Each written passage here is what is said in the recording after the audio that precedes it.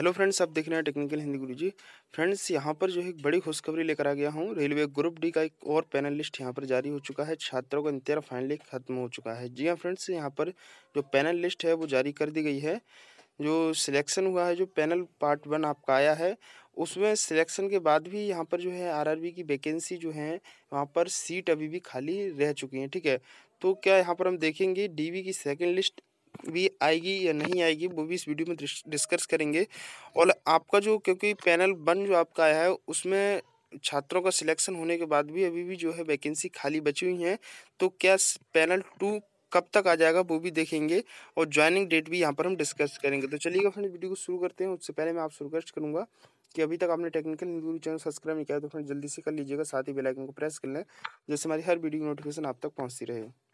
तो फ्रेंड्स देख सकते हैं, मैं आ चुका हूँ यहाँ पर। Railway recruitment cell East Coast Railway की ऑफिशियल वेबसाइट पर, जो आपकी आरआरबी भुवनेश्वर को बिलोंग करती है, ठीक है? ये जो लिस्ट है, वो आर आरआरबी भुवनेश्वर जोन की यहाँ पर जो है जारी की गई है। आप देख सकते हैं, थोड़ा स्क्रॉल डाउन करके नीचे आएँगे तो यहाँ पर देखने को मिलेगा first provisional panel for appointment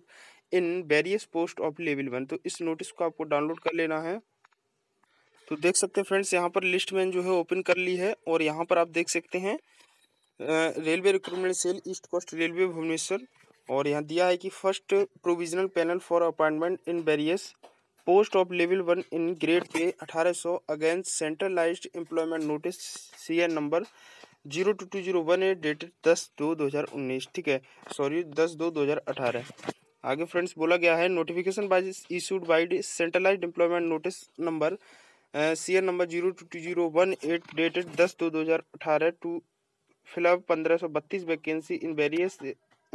erstwhile group D post level one with grade pay अठारह सौ ईस्ट कोस्ट रेलवे। और यहाँ बोला गया है कि आपका अठारह सौ बत्तीस पोस्ट के लिए जो एक नोटिफिकेशन जारी किया गया था zero two two zero one eight level one की पोस्ट का दस फरवरी दो हज़ार अठारह को। तो उसका जो है अठारह सौ बत्तीस के लिए, अठारह सौ बत्तीस वैकेंसी के जो फॉर्म फिलअप हुआ था, उसके लिए यहाँ पर बोला गया है। देखिए आगे बोला गया है नॉर्मल ये सभी कुछ नॉर्मल यहाँ पर जो है बताया गया है, सभी कुछ बेसिक इन्फॉर्मेशन है based on the performance of the candidates in the written test of the physical efficiency test PET where wherever applicable qualified candidate in the order of merit position of the called for document verification medical examination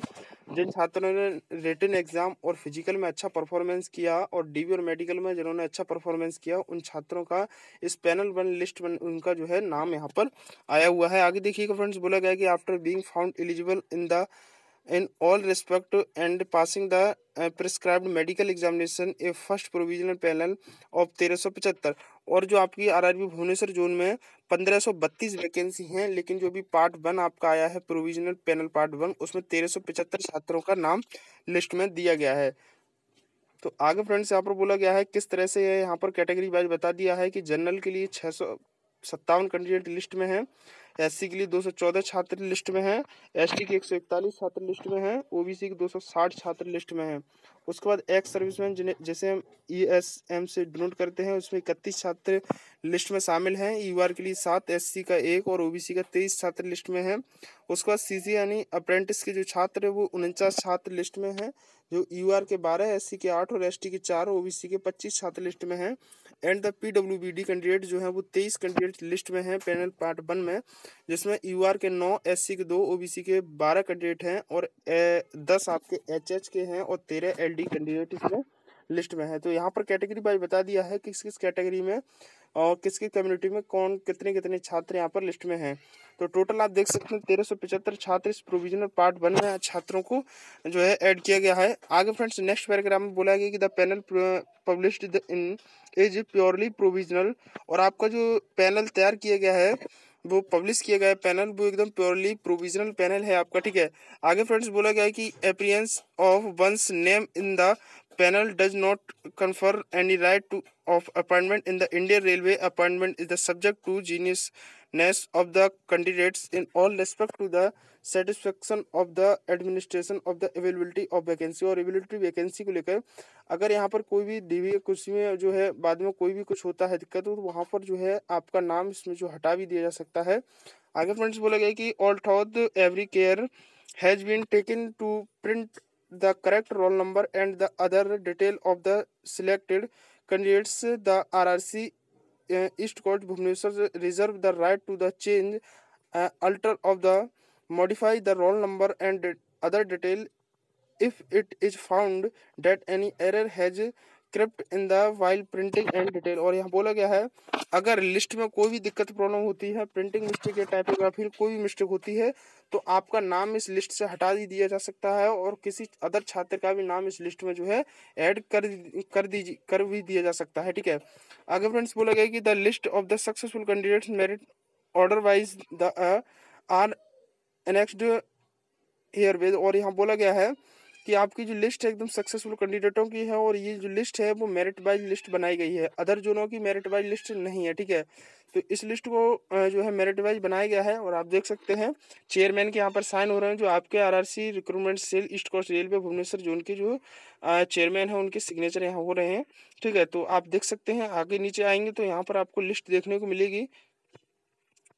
उसके बाद friends, list को देखेंगे तो यहाँ पर जो है, total छात्र हैं जो शॉर्ट लिस्ट किए गए हैं, ठीक है? और जो कैटेगरी वाइज भी यहाँ पर बता दिया गया है, ठीक है? तो आगे फ्रेंड्स, यहाँ पर देखेंगे आप कि यहाँ पर दिया है कि सीरियल नंबर रोल नंबर और नेम क्या है मेरिट में कौन सा रैंक पर है कास्ट किस कास्ट पे इनको पोस्ट मिली है, और ये जो है, किस कैटेगरी से बिलोंग कर किस कैटेगरी के थ्रू इनको पोस्ट मिली है, किस कैटेगरी से बिलोंग करते हैं, कौन सा पोस्ट उनको मिला है पोस्ट कोड क्या है, वो भी सभी कुछ इस वीडियो में बता दिया गया है, इस लिस्ट में बता दिया गया है। आगे फ्रेंड्स, यहाँ पर आएँगे, जब आप थोड़ा नीचे आएँगे तो लिस्ट में यहाँ पर देखिएगा